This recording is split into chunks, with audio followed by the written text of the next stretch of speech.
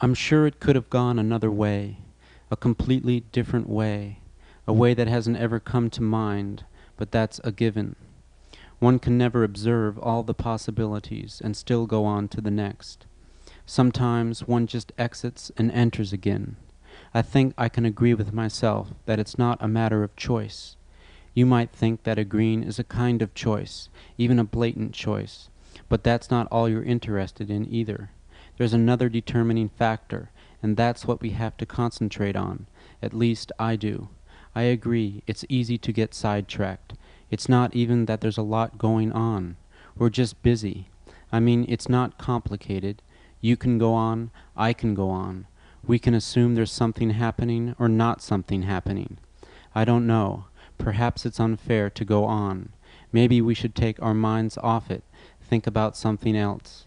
Maybe it's not worth thinking about at all, but that leads to other things just as problematic. Maybe it should be more complicated. We're looking at it too simply. Look, we don't have to consider all the possibilities, but instead really complicate one, if that's what you want to do. I don't know. Maybe it's my fault. I came unprepared. I'm not ready to be complex. I don't think that's the answer, though. I don't think it's an answer we're looking for. In certain ways, that's probably obvious by now, even knowing that you're a little uneasy with it, and I am too. But I think it's a way I can work with now, and maybe you can, and maybe you can't. I mean, I'm thinking about that. There's time involved here, and it's yours as much as mine. I certainly don't want to threaten your time or make you feel you have to be decisive, yet I want you to be here. I mean, I assume you are here, but I don't want to back you into a corner, and by the same token, I don't want to start from that corner. That's a particular relationship I would like to put aside for now. I know this isn't free of bullshit. I mean, I'm coming from somewhat of a self conscious place. It's a kind of stacking.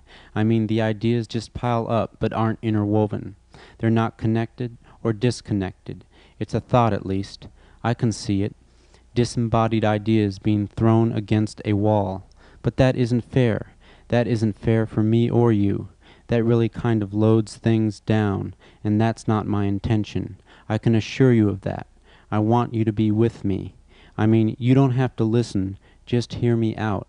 I don't want you to be involved in deciphering anything, but then that's your prerogative, and I don't want to get in your way. There's something that can be said for that, and I hear you but I don't want to listen to it. I realize it's easy for one to say that I'm being ambiguous, but I don't think so. I mean, if you want to leave, you can do that or you can just turn off. I'm not trying to say I'm indifferent. I just think there's a way here. Maybe you really do hear me and I'm going on and on, but we have to continue for some time. I mean, I think that's part of it. It would be easy to stop at this point it would just be interesting and over and possibly boring, but that isn't even the issue. It's important that we go on. This is the way I think it has to be right now. If it wasn't this, it would be that. And there's still this area we have to get through so that the this and the that won't become significant to this. I mean, what I am talking about isn't important in that way that importance draws attention. You might even think this is a game of some sort, but really, you've tried ways that were adjacent to this one when you weren't thinking about the consequences. You may even have heard this before in so many words, but I want to go on. I'm not interested in this kind of talking. It has its purpose, but it can get very sticky. I would rather settle with you. Some way that's non reversible. A way of being with you when it's the only way. When I arrived here, I had no way of knowing it would be this way.